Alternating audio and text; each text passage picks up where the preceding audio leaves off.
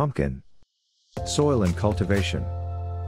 Pumpkins need exposure to warm and sunny places. The soil should be deep, rich, cool, and well drained. Pruning. We leave 2 to 3 fruits on each plant so that they grow enough. Proliferation. Sowing is done in a covered area at 20 degrees Celsius, in April. 3 seeds per container. The planting takes place in May in a deep pit, with fertilizer at a distance of at least 1 meter between them. Harvesting and maintenance. The fruits are harvested when they are large enough in size and have acquired a beautiful color. They are kept for a long time in a dry and well ventilated place. Enemies and diseases. Some of the many enemies of the pumpkin are powdery mildew, aphids, and cucumber mosaic virus. Behavior in a container. The pumpkin is a large plant.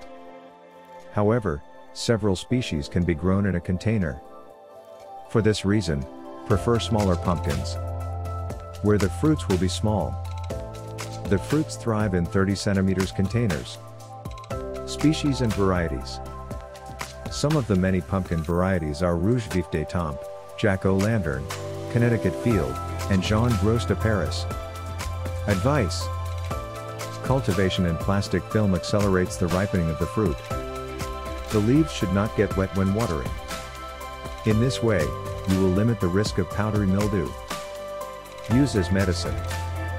It has a strong antimicrobial effect and reduces inflammation levels in the body. It also strengthens vision due to its high vitamin A content. Use as food. Pumpkins are cooked in various ways such as, in soups and in pies. Thank you for your time. I hope to see you the next time. Bye.